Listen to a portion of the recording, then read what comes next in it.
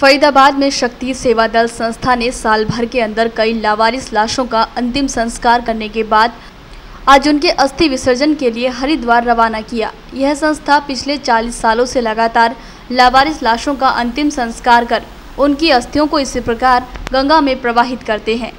दिखाई दे रही यह तस्वीरें फरीदाबाद के एयरफोर्स रोड पर बने शक्ति सेवा दल संस्था के कार्यालय की है।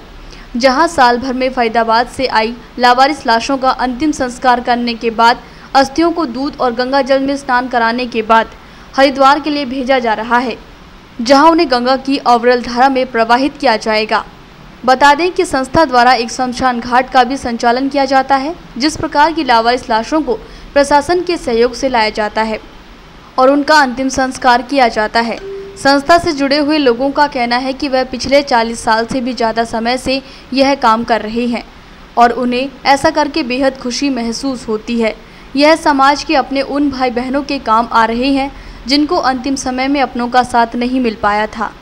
शक्ति सेवा दल के सदस्य इस काम के लिए फरीदाबाद नगर निगम और शहरवासियों का भी धन्यवाद करते हैं। करने का कितने, क्या है और ये क्या, किस लिए किए हैं?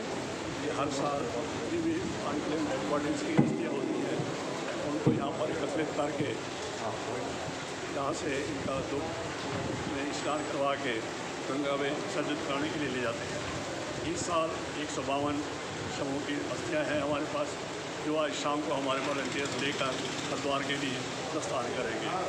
इसके लिए हमारे जो म्यूनसिपल कॉरपोरेशन है, उनका फरीदाबाद की जनता का मैं बहुत आभारी हूँ।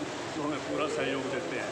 आए हुए सभी जितने मेहमान हैं उनका मैं बहुत आभारी हूँ। श्री मोहन सिंह भाटिया जी वेद मामा जी संजय भाटिया जी पप्पू नागपाल जी इत्यादि जितने हमारे मेहमान आए हुए हैं मैं बहुत बहुत आभार प्रकट करता हूँ।